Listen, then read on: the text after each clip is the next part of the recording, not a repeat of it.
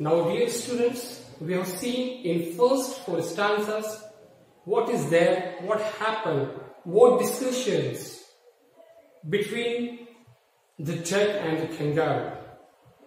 When the duck says to the kangaroo that she's getting bored and she wants to roam, she wants to travel all over the world, but uh, the kangaroo says the problem to the duck that your feet are cold and wet and I may get rheumatic disease. I may be suffer from rheumatic disease.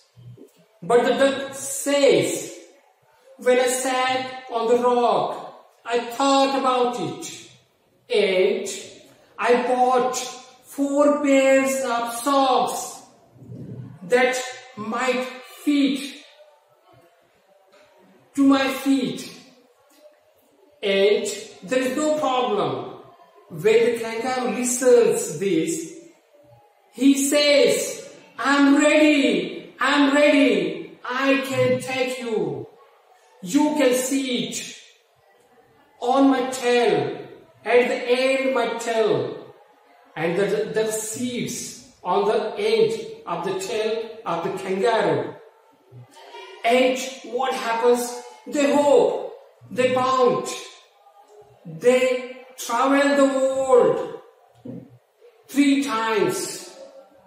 They round the world three times.